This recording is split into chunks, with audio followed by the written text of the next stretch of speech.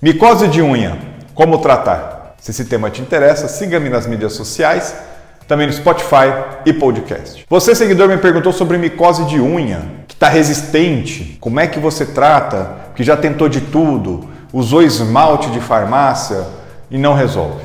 Bom, micose de unha é uma condição onde nós temos uma proliferação de fungos naquela unha. Existem tratamentos diversos de aplicação de laser a outros cuidados.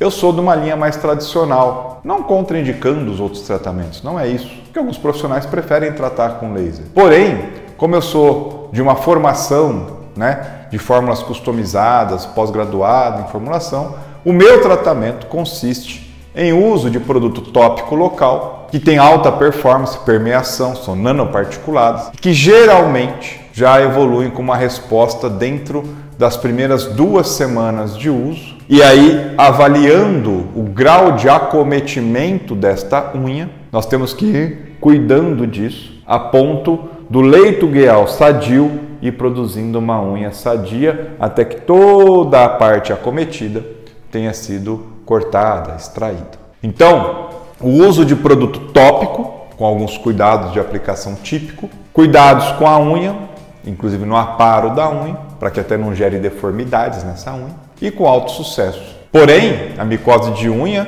é meio chatinho de tratar, pode exigir um tempo maior de uso de medicações, assim como também essa micose de unha mais grave, vamos assim dizer, também exigirá um maior tempo de aplicação de laser ou qualquer outra conduta. Tá certo, pessoal?